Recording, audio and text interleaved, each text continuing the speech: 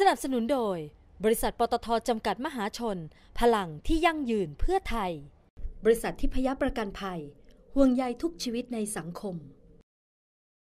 คุณสุวินพิสุวรรณอดีตเลขาธิการอาเซียนออกมาเตือนว่าคอร์รัปชันนี่แหละ จะทำให้ไทยเป็นหลุมดำของอาเซียน มีตัวเลขออกมาชัดเจนครับว่า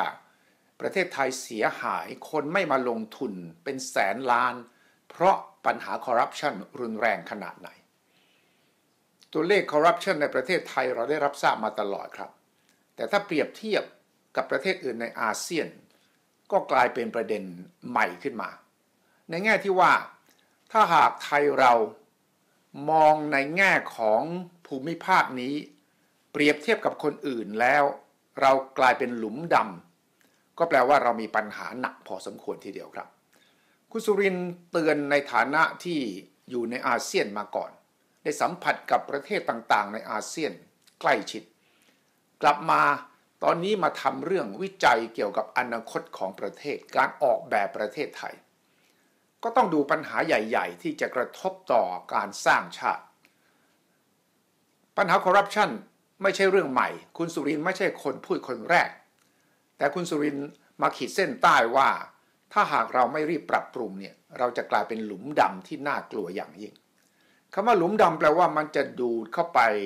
ในที่ที่ไม่มีโอกาสเห็นแสงสว่าง และจะดูดเข้าไปจนกลายเป็นว่า ไม่มีใครสามารถไปแก้ปัญหานี้ได้อีกเลย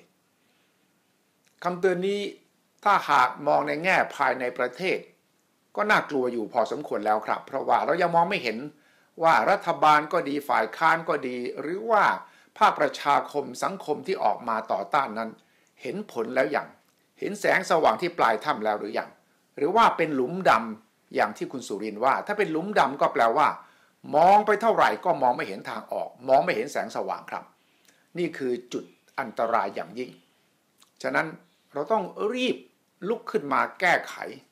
และหวังพึ่งนักการเมืองอย่างเดียวไม่ได้เป็นอันขาดครับ จะต้องมีระบบที่เรียกว่าเป็น open government คือเป็นรัฐบาลที่ไม่เพียงแต่โปร่งใสให้ข้อมูลเท่านั้น แต่ยังจะต้อง มีการร่วมของประชาชนทุกหมู่เหล่า ทุกประเด็นที่เกี่ยวข้องกับการสร้างชาติต่อไป